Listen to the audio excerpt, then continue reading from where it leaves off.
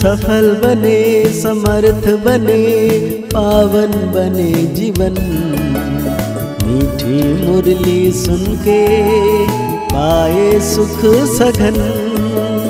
आज का चिंतन, आज का चिंतन। ओम शांति। Good morning. ज्ञान का सागर सर्वशक्तिवान परमात्मा, आज हम बच्चों को कह रहे हैं, अशरीरी बनने की ड्रिल नंबर वन ड्रिल है, इससे वायुमंडल में सन्नाटा छा जाता है। बाप का डायरेक्शन है, इसी ड्रिल का अभ्यास करो। दुनिया के अनेक विघ्नों के बीच में रहते हुए एकरस और खुशी में कौन रह सकता है? बाप पूछ रहे हैं।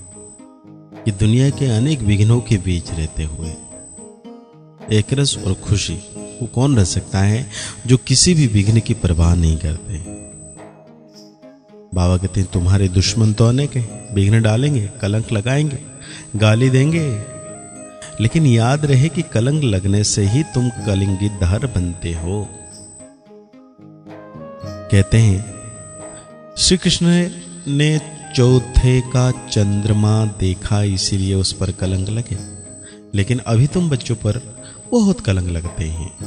अंत में तुम कहेंगे, है भारतवासी हूँ देखो तुमने बहुत कलंक लगाए और हम अभी कलंगीधर बनते हैं। बच्चों प्रति शिव बाबा का फरमान है।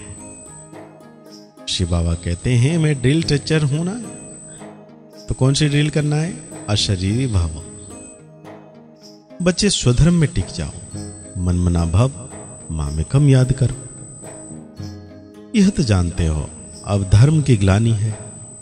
गीता में है, यदा यदा ही धर्मस्य ग्लानिर्भवति भारत। यह श्लोक जन्म जन्मांतर हम गाते आए जब से भक्ति मार्ग शुरू हुआ, गीता का पाठ करते आए शिव बाबा की पूजा करते आए हैं। वही शिव बाबा अब कहते हैं, माँ में कम याद करो, तुम पर फिर से माया का परछाया पड़ गया है। तो इसलिए बाबा कहते हैं माया जीत भव। श्री कृष्ण को कृष्णपुरी में याद करो। ज्ञान का दाता कोई श्री कृष्ण नहीं है, वो तो है शिव। शिव की ही पूजा होती है, उनको परमात्मा कहा जाता है। तुम सब ब्राह्मण उनको याद करेंगे। अगर कोई शुद्र यहाँ और कोई ख्यालत में बैठा होगा तो वायुमंडल को खराब कर देगा। उस एक के जब भी याद करेंगे मतलब सर्वशक्तिवान परमात्मा को तो सन्नाटा छा जाएगा। जैसे कोई मरता है तो सन्नाटा छा जाता है। आत्मा के अशरीर होने का प्रभाव पड़ता है। तो अब बाबा कहते हैं, तुम सब आत्माओं को वापस ले जाऊँगा।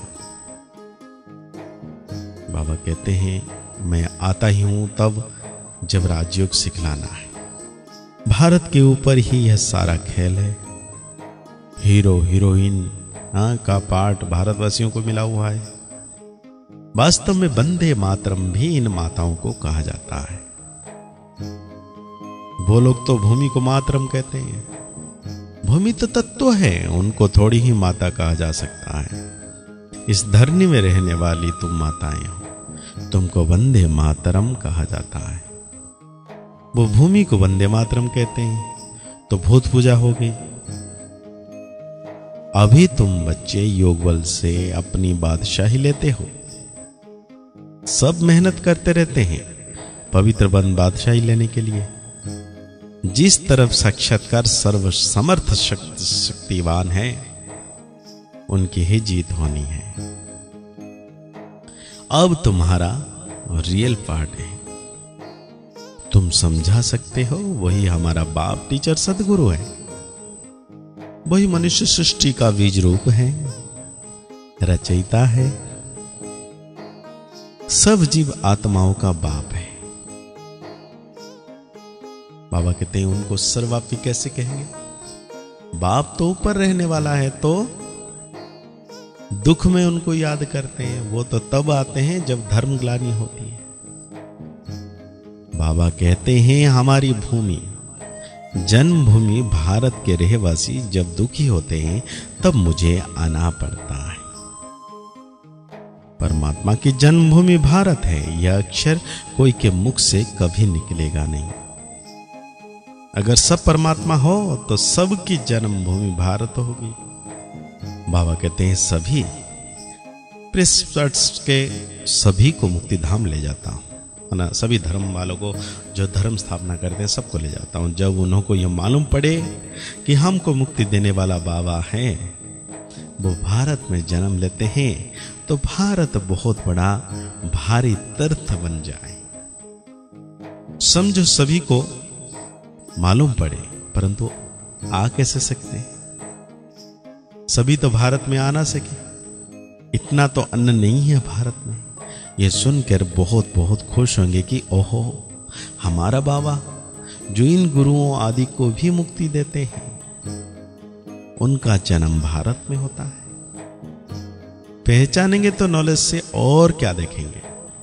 ब्राह्मण में जब किसी की सोल आती है मतलब ब्राह्मणों के अंदर तो उनके भी बोलने से भी पहचान होती है ना, कि कोई और बोल रहा है। बिगर बोलने से पहचान कैसे हो सकती? बात करने से मालूम पड़ेगा, बराबर फलानी आत्मा है। शिव बाबा भी जब नॉलेज दें, तब समझें कि शिव बाबा बोलते हैं। जब ब्रह्मा तन में, जब गुलजादादी तन में आए यह सिवाय बाप के कोई समझा ना आ सके। कभी कभी कोई कहते हैं हम शिव बाबा से बात करें, परंतु उनको पहचानेंगे कैसे? समझ भी नहीं सकेंगे। बुद्धि से समझना चाहिए कि यह नॉलेज बाबा के सिवाय को दे नहीं सकता कोई। देखो कहाँ कहाँ बच्चियाँ बिगर देखे तड़प रही है शिवाओं से मिलने। ज़रूर उनकी ताकत है जो खींचती है, कोशिश होती है। तो उन्हों को सफ़ेद पोष का साक्षात्कार कराते हैं। इसलिए बाबा कभी हमारी ड्रेस बदलने नहीं देते हैं। तो उनकी नॉलेज तो मालूम पड़ता है। बहुतों को भिन्न भिन्न प्रकार के साक्षात्कार होते हैं। परंतु उससे क्या फ़ायदा? तुम्हारा काम नॉलेज से है। यह नॉलेज कोई दे ना सके। तो यह सारा गुप्त पाठ हुआ। कहते हैं, मैं आत्मा का रूप धारण कर इसमें प्रवेश कर जाता हूँ। तो यह नॉलेज इतनी बाबा ही देते हैं, हम थोड़ी ही जानते हैं। बाबा देखो, कितनी कमाल करते हैं। कहते हैं, मुझे अपनी वारिस बनाओ। मैं तुम्हारी इतनी सेवा करूँगा जो तुम्हारा बच्चा भी कभी नहीं कर सकेगा। मैं तुमको इक्कीस जन्म के लिए राज्य भाग्य दू फिर भी अगर बारिश ना बनावे तो तकदीर कहा जाता तुम बच्चिया जानते हो। हम शिव बाबा से वर्षा लेने के लिए यहाँ आए। शिव बाबा को और बैकुंठ को तुम सिवाय दिव्य दृष्टि के देख ना सको। ज्ञान तो बिल्कुल क्लियर मिल रहा ना। हमको बाबा राजयोग सिखलाते हैं। ऊँचे ते ऊंच वर्षा है वैकुंठ की बादशाही। सो भी पढ़ाई से मिलती है। कोई भी राजयोग सिखला ना सके। ज्ञान तो बिल्कुल क्लियर मिल रहा ना। हमको बाबा राजयोग सिखलाते, आज बाज बाबा कहते हैं बार बार ये राजयोग सिखलाने के लिए आया हूँ, राजयोग सिखला रहा हूँ। ऊँचे ते ऊंच वर्षा है वैकुंठ की बादशाही। सो भी पढ़ाई से मिलती है, कोई भी राजयोग सिखला ना सके। हम नर से नारायण बनते हैं। यह राजयुग सिखलाते ही अंत में है। तब तो फिर सतयुग में राजा रानी बनेंगे। यह मुसलों की लड़ाई प्रसिद्ध है। गीता से देवी देवता धर्म की स्थापना हुई। उस समय तो और कोई धर्म था ही नहीं। वे सब कहाँ गए? विनाश हुआ। बिल्कुल सहज बात है। ट्रेन में तो तुम बच्चे बहुत सर्विस कर सकते हो। फिर भी प्रजा तो बन जाएगी। गाड़ी की डिब्बा ही तुम्हारा प्रजा बन जाएगी। बैठकर सुनेंगे तो उनको बहुत अच्छा लगेगा। तो आज बाबा हम बच्चों को धारणाओं में कहते हैं 21 जन्म की तकदीर बनाने के लिए शिव बाबा को अपनी बारिश बनाना है। हर एक से बाप, टीचर, सतगुरु, तीनों का शो करना है। ज्ञान क्लियर है। मिल रहा है, इसीलिए सक्षत करके आश नहीं रखनी है। सक्षत सर्व समर्थ बाप हमारे साथ है, इसलिए विघ्नों से घबराना नहीं। तो आज बाबा हम बच्चों को वरदान दे रहे हैं। मेरा बाबा के स्मृति स्वरूप द्वारा समर्थियों का अधिकार प्राप्त करने वाले समर्थ आत्मा भावा। कल अब पहले की स्मृति आते ही बच्चे कहते हैं, मेरे हो, और बाप कहते हैं, तुम मेरे हो।